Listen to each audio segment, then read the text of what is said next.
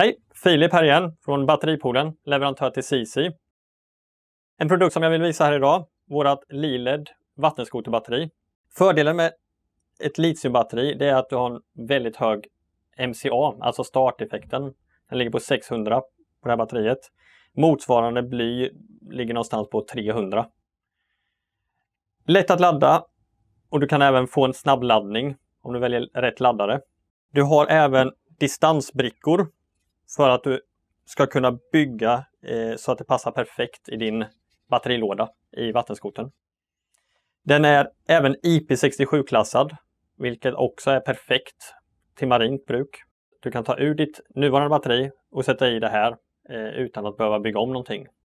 En annan fördel är att du har centrerade poler på batteriet så du inte behöver tänka på vilken polställning du har utan du kan enkelt vända på batteriet. En annan viktig sak är att du laddar upp batteriet före användning.